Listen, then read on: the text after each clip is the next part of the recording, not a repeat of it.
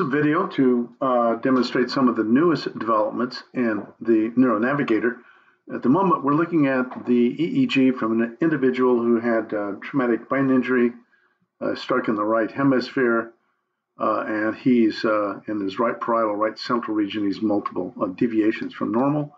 These are z-scores in the bottom, and the electrical potential and the power spectrum on the top right uh, and we can scan through that record and, and, edit and do all the things we have over the years with NeuroGuide.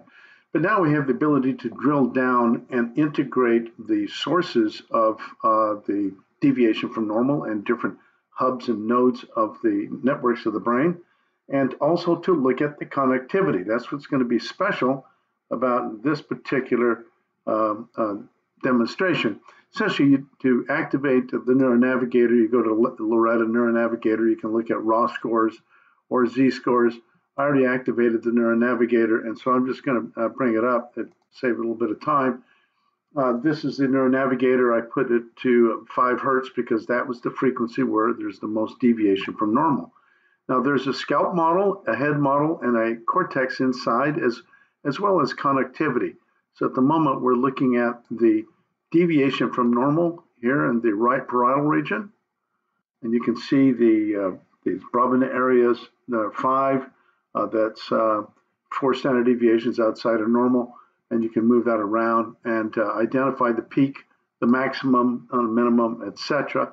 But the scalp potential is also seen there. That is the electrical uh, potential, the deviation from normal, and the electrical potential. I can go to the scalp map and I can also look at the Laplacian of the scalp surface.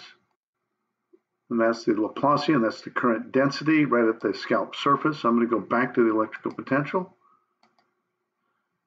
And uh, those are microvolts uh, squared per power, actually z-scores uh, produced by the electrical energies of the brain. I can change the size of the head, etc. Now I'm going to drill down and look inside at the connectivity uh, there's a variety of different networks we can look at. Right now, it's a default network. I'm going to take a look at the anxiety network. I'm going to turn on the connectivity, which is inside here. You can't see it at the moment very well, unless I change the transparencies. But for the moment, I'm just going to get rid of the scalp map and we get rid of the uh, head model and just look at the connectivity itself. Okay, I'm going to expand this a bit. These, this is coherence at this, uh, and then we can change the z-score thresholds for the coherence, uh, get the areas that are most deviant from normal. Uh, we can also look at phase differences. If I click connectivity here, uh, that actually was phase differences. Here is uh, coherence. These are z-scores for coherence.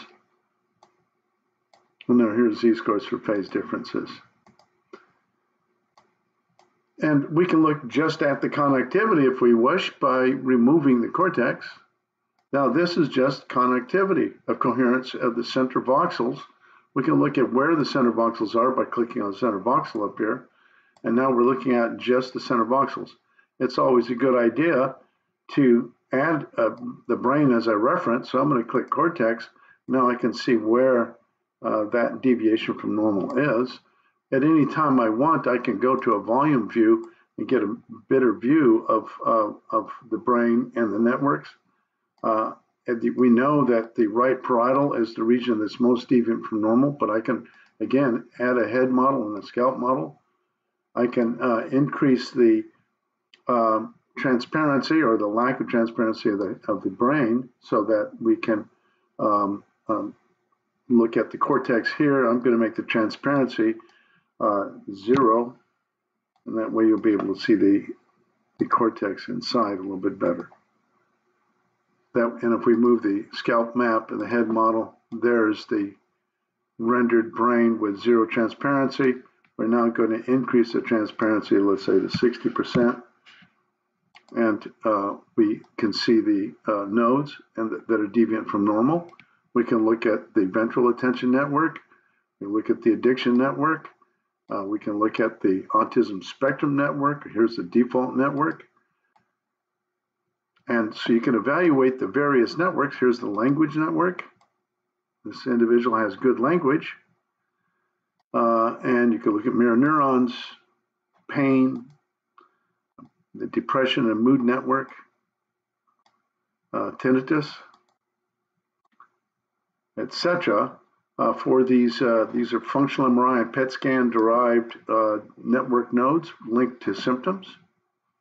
Uh, and then we can do back, go back to 4View uh, and scan and through the brain, look at the various aspects of the brain that are deviant from normal. I've activated the head model. I'm now put the scalp model. Again, there's the electrical potential. Now I'm going to navigate through the brain. I'm going to take the cutting tool so I can go down through the brain and evaluate it. Uh, I can look at it from the left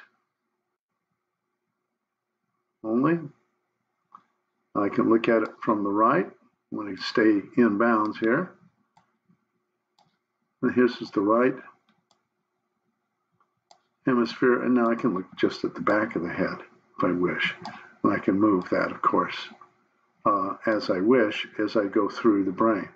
At any moment, I can uh, eliminate the scalp and the cortex, and again, just look at the network. In this case, it's the tinnitus network.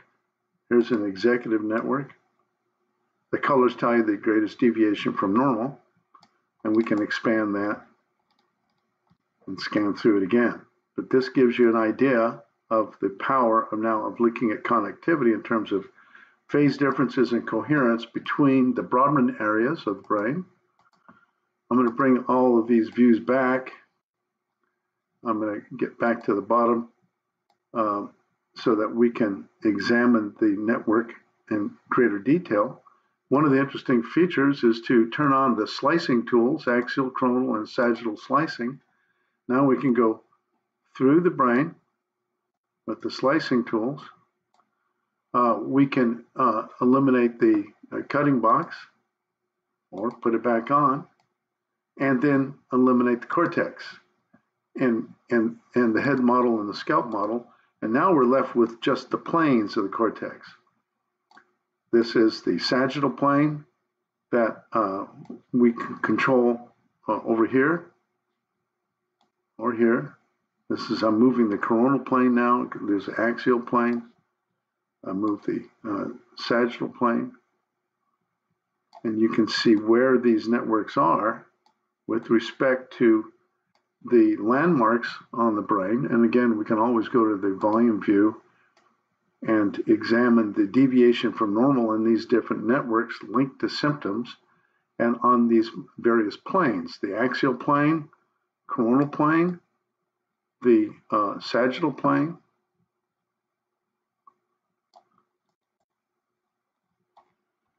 And uh, then at any moment or anytime we wish, we can bring the full brain back by clicking on the cortex, head model, scalp model, and go back to where we were, resize it. We can also change the theme so we get a, a view when it's different colors uh, to give us a, where things stand out more. I'm going to click the 4View again, and then we're going to um, orient the head and uh, remove the various aspects of it, except for the network and the slices.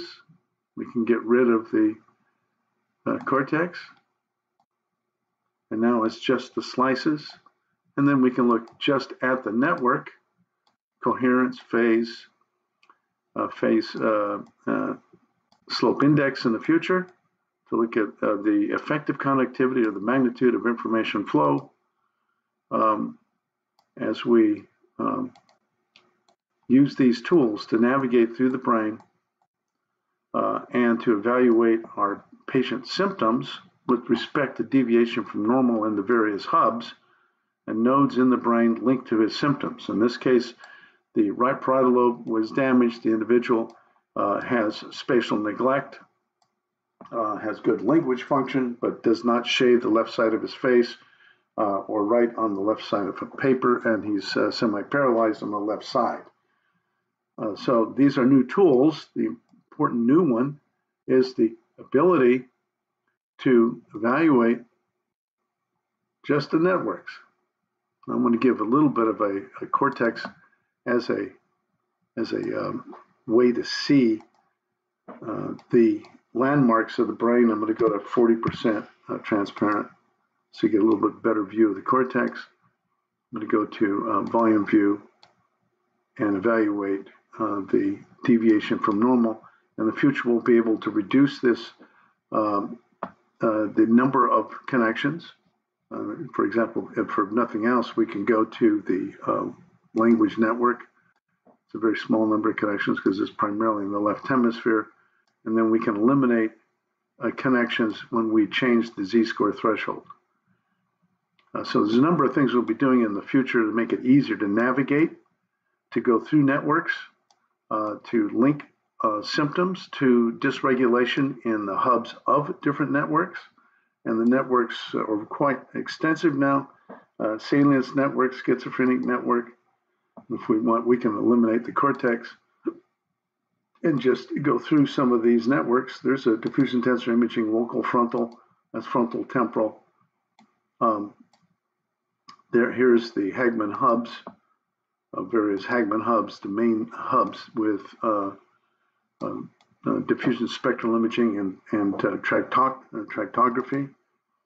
Mesulam hubs, the intercorrelation networks from Laird et al., etc. So all the main hubs and networks that have been established with over 30,000 peer-reviewed journal articles in functional MRI and PET scan are inside of the neuronavigator. Uh, and then we use the inverse solution from the scalp surface to compute the sources of the EEG uh, and uh, then identify the uh, deviations from normal and the magnitude of the current being generated in different uh, parts of the brain. We can always do the all slices and, and go through the brain this way as well. And so that we have a better view of which parts of the brain are linked to the symptoms. As you can see, the right parietal region is deviant from normal, and it has consequences in terms of the connectivity of the right parietal lobe to other parts of the brain that we can examine uh, in great detail. So this is a, another view of the uh, development of uh, NeuroGuide uh, with the ability to look at networks now and uh, to evaluate the brain in even greater detail than we could before, with major emphasis on networks and the distribution of uh, electrical uh, and current density uh, sources um, are on the scalp surface and their distribution. Uh, so you can drill down from the scalp surface with electrical energies to the sources inside the brain to the connectivity between the hubs of the networks that uh, are in three dimensions as represented by Brodmann areas.